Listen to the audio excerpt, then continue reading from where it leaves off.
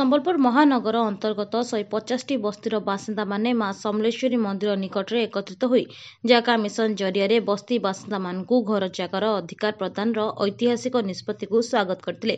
ସେମାନେ ମୁଖ୍ୟମନ୍ତ୍ରୀ ନବୀନ ପଟ୍ଟନାୟକଙ୍କ ଠାରେ ନିଜର କୃତଜ୍ଞତା ଜ୍ଞାପନ କରିବା ସହ ଧନ୍ୟବାଦ ଅର୍ପଣ କରିଥିଲେ। ମୁଖ୍ୟମନ୍ତ୍ରୀ ନବୀନ ପଟ୍ଟନାୟକ ଦୀର୍ଘାୟୁ ସୁସ୍ଥ ଓ ନିରାମୟ ଜୀବନ କାମନା କରି ମା ସମଲେଶ୍ୱରୀଙ୍କଠାରେ ଦୀପ ପ୍ରଦାନ କରିଥିଲେ। ସମବେତ ଶହ ଶହ ବସ୍ତି ବାସିନ୍ଦାଙ୍କୁ ବିଜୁ ଜନତା ଦଳ ସମ୍ବଲପୁର ଜିଲ୍ଲା ସଭାପତି ଇଞ୍ଜିନିୟର ସିଦ୍ଧାର୍ଥ ଦାସ ଉଦ୍ବୋଧନ ଦେଇ ନବୀନ ସରକାରଙ୍କ ବିଶେଷ କରି ଜାଗା ମିଶନରେ ବସ୍ତି ବାସିନ୍ଦାଙ୍କୁ ଘର ଡିହର ଅଧିକାର ରାସନ କାର୍ଡ ଥିବା ପ୍ରତ୍ୟେକ ପରିବାରକୁ ଏକ ହଜାର ଟଙ୍କା କରୋନା ଅନୁକମ୍ପା ପ୍ରଦାନ ତଥା ଉଠା ଦୋକାନୀମାନଙ୍କୁ ବିଭିନ୍ନ କିସ୍ତିରେ ନଅ ହଜାର ଟଙ୍କା କରୋନା ସହାୟତା ପ୍ରଦାନ ଏବଂ ଐତିହାସିକ ମା ସମଲେଶ୍ୱରୀ ପୀଠର ବିକାଶ ସମ୍ପର୍କରେ ବିସ୍ତୃତ ସୂଚନା ଦେଇଥିଲେ।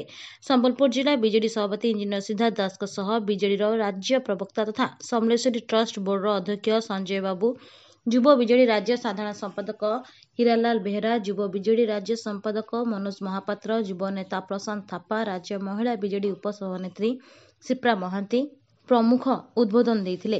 ସଙ୍ଗୀତା ସ୍ୱାଇଁ ସମବେତୀ ବସ୍ତି ବାସିନ୍ଦାଙ୍କୁ ବିଜୁ ଜନତା ଦଳ ତରଫରୁ ଧନ୍ୟବାଦ ଜ୍ଞାପନ କରିଥିଲେ। ଏହି କାର୍ଯ୍ୟକ୍ରମରେ ସଫଳ ରୂପାୟନ ନିମନ୍ତେ ସମ୍ବଲପୁର ଜିଲ୍ଲା ବିଜେଡି ଉପସଭାପତି ଅଶୋକ କୁମାର ମହାକୁର ଜିଲ୍ଲା ବିଜେଡି ସାଧାରଣ ସମ୍ପାଦକ ସୁଶାନ୍ତ ପାଣିଗ୍ରାହୀ ଜିଲ୍ଲା ସମ୍ପାଦକ ଦିଲ୍ଲୀପ ଦାସ ସୁଧୀର ପାଣିଗ୍ରାହୀ ପ୍ରମୁଖ ଉପସ୍ଥିତ ରହିଥିଲେ। ସମ୍ବଲପୁରରୁ ସୁଜିତ କୁମାର ଦାସଙ୍କ ରିପୋର୍ଟ ସିଏଫ୍ଆଇ ସମାଚାର।